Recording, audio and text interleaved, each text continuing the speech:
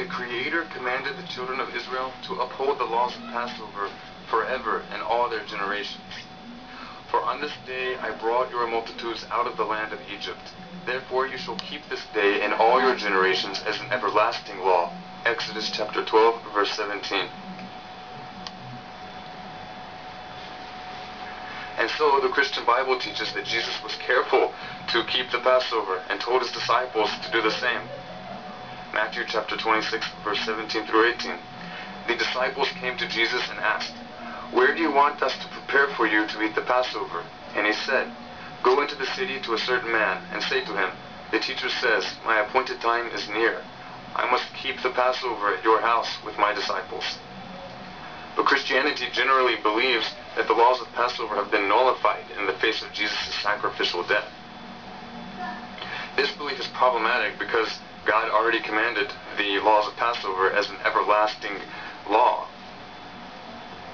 And it is stated in Numbers chapter 23 verse 19, God is not a man that he should lie, nor a mortal that he should change his mind.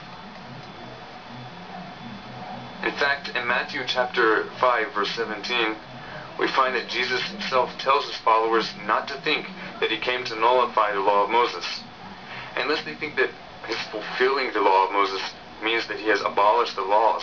Therefore, he says in verse 19, Anyone who nullifies even the least of these commandments shall be called the least in the kingdom of heaven.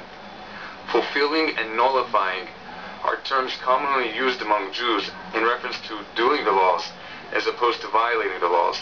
Fulfilling in such a context means to actualize, to make the law a reality. If Jesus intended that the Passover laws should no longer be kept, then it's strange that the New Testament calls such a teaching a false testimony.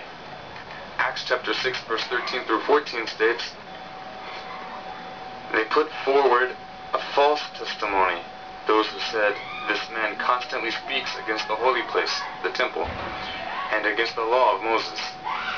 For we have heard him say that this Nazarene, Jesus, will abolish this place and alter the customs which Moses handed down to us. So the Christian Bible actually teaches that Jesus would not alter the customs of Moses, which he had handed down to the people of Israel.